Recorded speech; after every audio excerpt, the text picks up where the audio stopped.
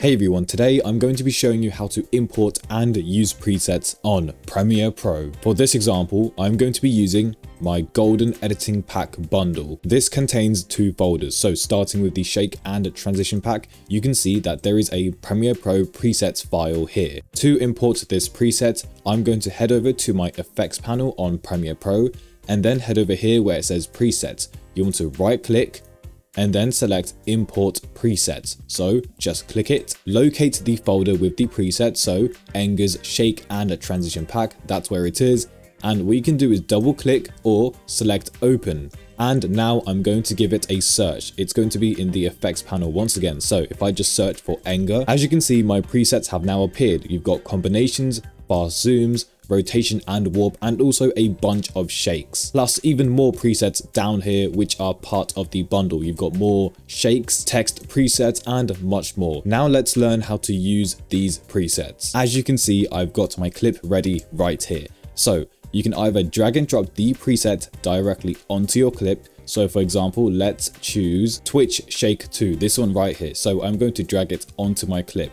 Now, you're going to notice that there will be some problems. So if I just play it, it looks good, but there are some issues. So for example, at the top here, you can see the clip goes out of frame. Now, in this case, it would be better to use an adjustment layer. So if I remove the presets from my clip and head over to the project tab, what you can do is right click anywhere here, new item, adjustment layer, this one here, and click OK. Now place the adjustment layer on top of your clip and depending on the preset and clip duration, you want to extend it anywhere from 5 to 30 frames. This preset here, Twitch Shake 2 works best at 15 frames, so 5, 10, 15. I'm going to extend the adjustment layer and then try again. So I'm going to apply the preset onto the adjustment layer directly. As you can see, it looks much better than before. So remember, it depends on the duration of the adjustment layer. Now, this is a Premiere Pro issue. Sometimes effects don't really like to work with each other. So for example, I've got a heavy shake too.